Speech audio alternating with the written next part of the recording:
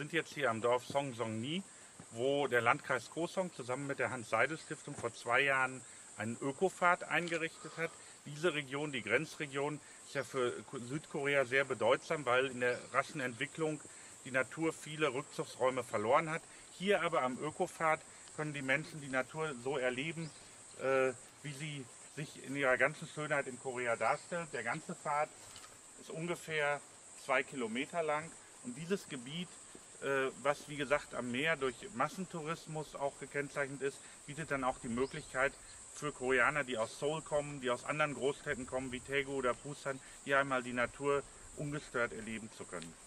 Herzliche Einladung, besuchen Sie den Ökofahrt in Songson-ni im Landkreis Gosong.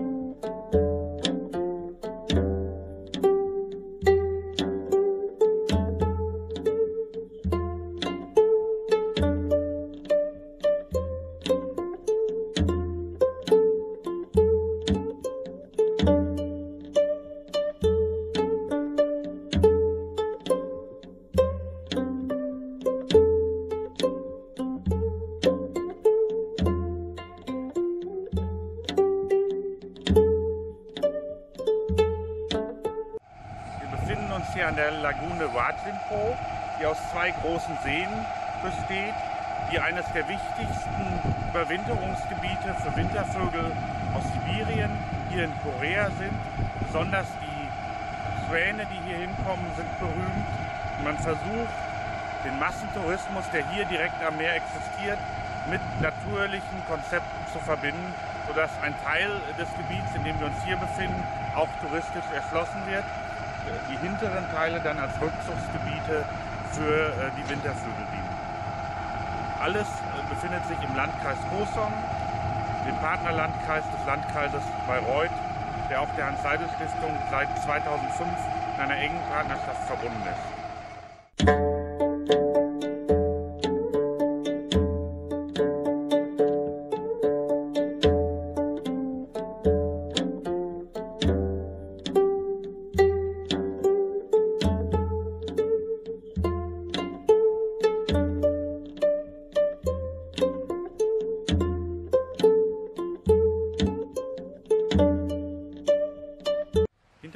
Sehen wir das Sommerhaus von Kim Il-sung, das sogenannte. Früher gehörte Kosong zu Nordkorea, das heißt vor dem Koreakrieg von 1945 bis 1950. In dieser Zeit wurden an schönen Stellen Nordkoreas Häuser für den Führer Kim Il-sung ähm, bereitgestellt. Er selber hat sich dort nie befunden. Allerdings hat Kim Jong-il, der langjährige Diktator, dort einmal in den äh, 40er, späten 40er Jahren einen Urlaub verbracht. Heute ist das Ganze ein Museum, das an die schmerzhafte Teilung des Landes erinnert.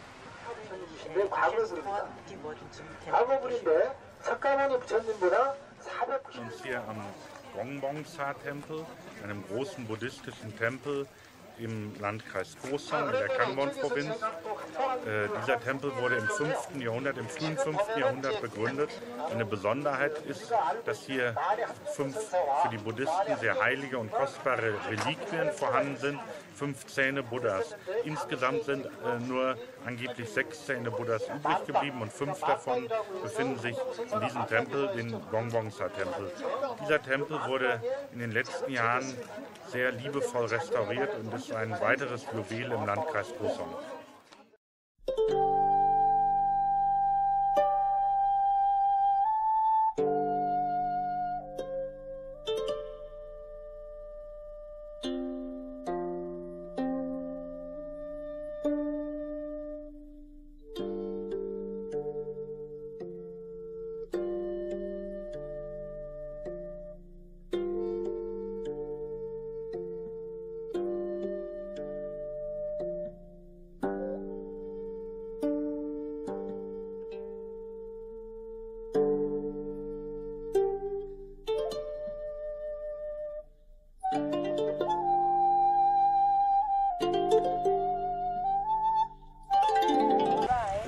Uns hier auf der alten Steinbrücke des Gonbongsa-Tempel, ein historisches Monument, das auch wieder hergerichtet wurde und nun zu den Schätzen des Landkreises Kosong gehört. Und hinter uns sehen wir den Haupttempel oder die Hauptanlage, während wir, wenn wir nach rechts gucken, dort den Tempel des Berggeistes sehen, der nach schamanistischem Brauch immer auch zu einem Tempel gehört.